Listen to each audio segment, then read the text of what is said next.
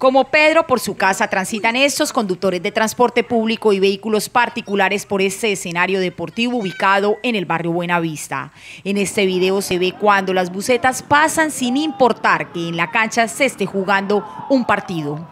Cogieron fue la carretera, la cancha de carretera y así no es. Entonces, que por favor nos colaboren con eso, que hagan acabando la cancha, mire cómo está la cancha, ya esto es, esto es una cancha, que ellos tienen que entender que esto es una cancha, que primero fue la cancha que ese barrio.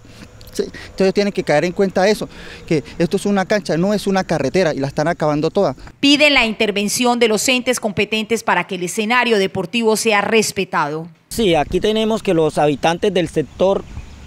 de al fondo eh, con sus vehículos noche tras noche transitan por la cancha sin importar que nuestros niños estén elaborando sus, sus prácticas deportivas. Entonces hacemos un llamado a esas personas que tomen conciencia, que por favor nos ayuden a cuidar nuestros, nuestros escenarios deportivos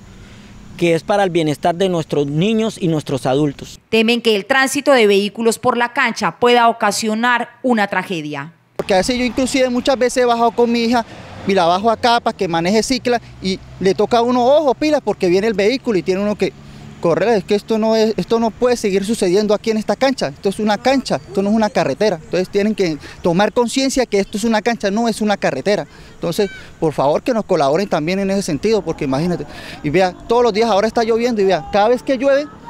vaya miren allá, eso es un hueco allá, ya eso ya no se puede ni pasar por allá, yo creo que hasta ellos mismos se han dado cuenta que eso está imposible allá, pero siguen haciendo lo mismo, pasando y pasando los vehículos, todo esto no puede seguir así, esto hay que pararlo. Esta cancha de tierra es la única que hay en este sector de la Comuna 4 de Barranca Bermeja para que los pequeños puedan practicar deporte.